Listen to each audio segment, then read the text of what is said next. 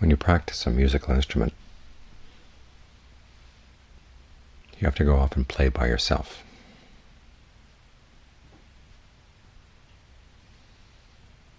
And nobody accuses you of being selfish,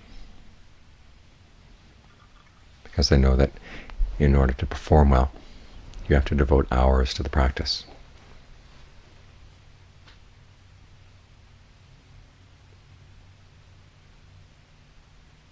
To get really good. You don't want to impose your unskillful playing on audiences. They wouldn't come to listen. And everyone recognizes that it takes hours to develop that kind of skill. Many, many hours. The same principle applies to the meditation. There's a good reason why it's called practicing meditation. Because it takes many, many hours to learn how to do it right. So you can perform the meditation in the course of your, your daily life. Live with a mind that's centered, mindful, alert, wise, compassionate, all those good things. In fact, living skillfully with a mind well trained. It's a lot more difficult than playing a musical instrument. And yet very few people recognize that. After all, everybody can live. Everybody can talk, speak, act, think, and muddle through life in a way that seems to be okay. But in our muddling through, it's a lot worse than you know, playing unskillfully, playing out of tune. You can do a lot more harm inflict a lot more damage. But we live in a society that doesn't recognize that. So we have to keep reminding ourselves that as we sit here and meditate, it's like practicing a musical instrument. We need to have time by ourselves to get the practice down right. And it's not a selfish thing the more skilled you are at the basic skills of meditation, the more skill you'll be able to bring to the rest of your life. Some people think that we come here to meditate to get a particular experience, get a particular kind of high.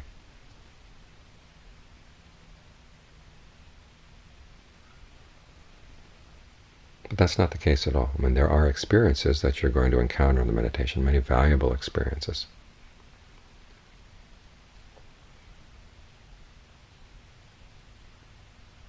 But it's not just getting a high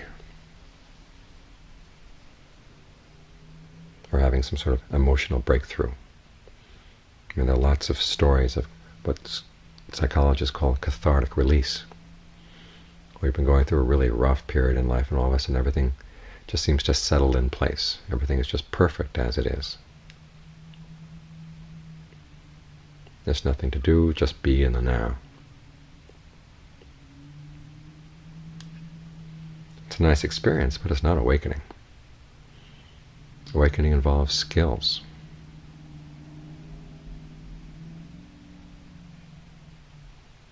And the skills that you develop in the course of getting there.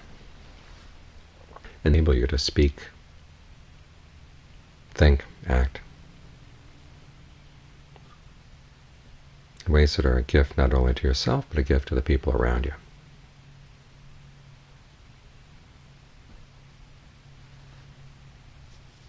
Look at the Buddha's word for the ignorance that we suffer from. In Pali, the word is avijja, and it's the opposite of vijja, which means not only a body of knowledge, but a body of skills, learning how to be adept. It's a kind of how-to knowledge, and it's defined as knowledge of the Four Noble Truths, which sounds on the surface like just knowing about the Four Noble Truths, but when the Buddha explained the kind of knowledge that is appropriate to the Four Noble Truths, it's not just that. You realize that the one hand, you learn how to look at life in terms of the Four Noble Truths, learn how to recognize suffering, its cause, the cessation of suffering, and the path that you have to follow. But then also realizing once you recognize those things, then you've got certain tasks, certain duties, appropriate activities for each of those. And you don't really know them until you've mastered the duties, mastered the activities. You have to comprehend suffering. And comprehending means getting to the point where we recognize that many of the things that you like in life actually are stressful. They cause suffering not only to yourself, but to people around you. And you learn how to end all passion, aversion, and delusion with regard to those things. That's the first duty. Second noble truth, the cause of suffering or the origination of suffering, the duty is to abandon it. Once you recognize the craving, you let it go. With the cessation of suffering, the duty is to learn how to realize it, recognize it, verify it for yourself that there really is such a thing. Then finally, the path is something to be developed.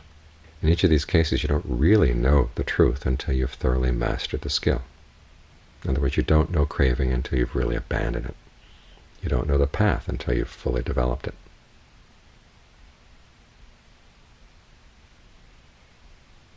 in the course of mastering these skills, you open the mind to something really special, the deathless, total freedom. which is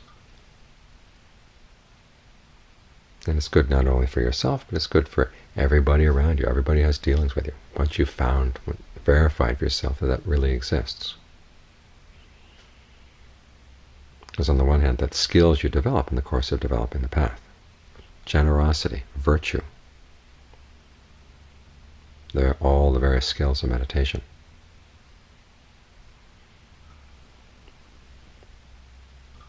These are skills that you need in order to deal with other people in a compassionate way.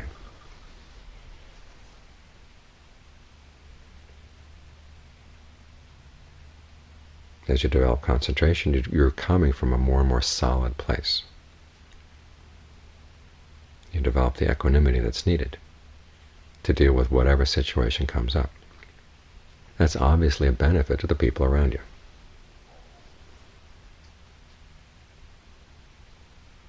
as the old poem says, when people around you are losing their heads, but you are able to keep yours. Okay, that's a real gift to them. You become more and more reliable. And then ultimately, when you've seen the deathless and realize that that's where true happiness lies, your relationship to all the sensual pleasures and all the other pleasures that the world has to offer is a lot different. You don't need to feed off those things anymore. You have a happiness that doesn't take anything away from anyone else. And you're able to let go of what you had claimed as your own, what you would have to fight other people for. In other words, the kind of happiness where if you're going to gain it, other people have to lose. You don't need that happiness anymore. So you're no longer competing with other people, and at the same time you're showing them a good example. That's what's really special about the practice. You show other people that you want to be truly happy, this is how you do it. You don't have to keep fighting each other all the time.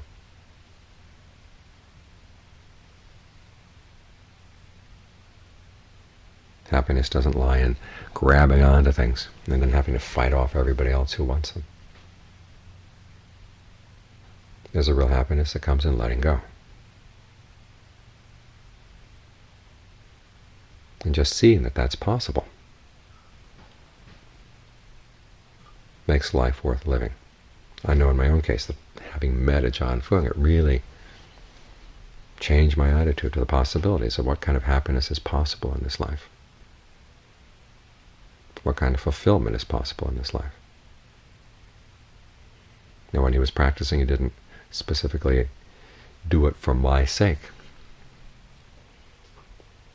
But in having gained the results of the practice, it did open my mind to the possibility that there was a lot more happiness available in this world than I thought before.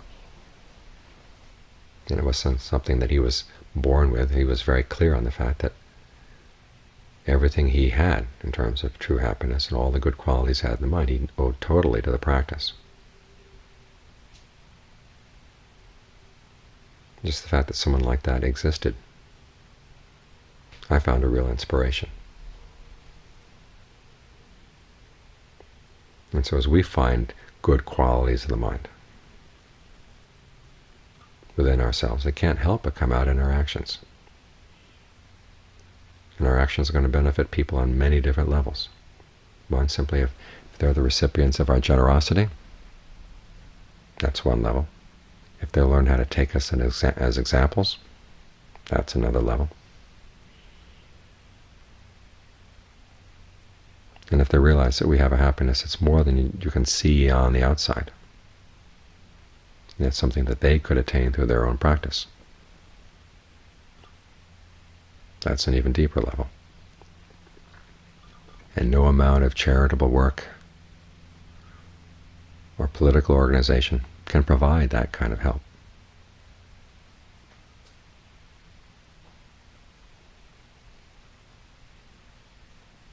So remember, as you meditate, you're not just here to get something, to get an experience, or to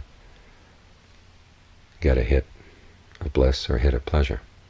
You're here to train the mind in skillful qualities.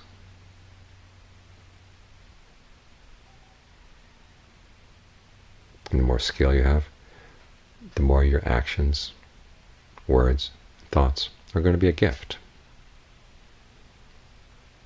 So the meditation is a process not only of getting, but also of giving. And it's a getting and a giving in a way that it's different from the way of the world. The getting and the giving in the world is, okay, I'll give you something, you give me something in return. It's a bargain. Process of bargaining, negotiating.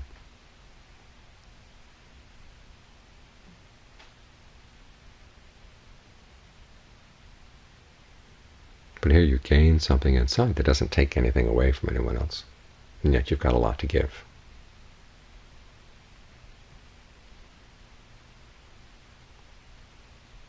So the old idea that meditation is selfish is totally misinformed. Because there are forms of happiness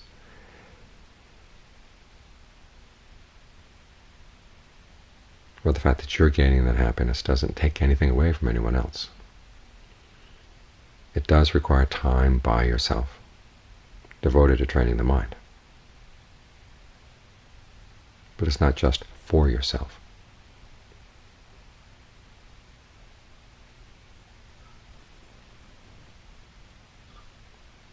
And it's important that you realize it.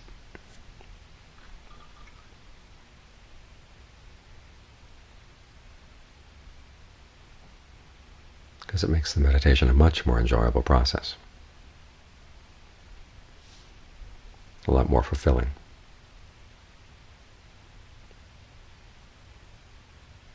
Something you really can give your life to.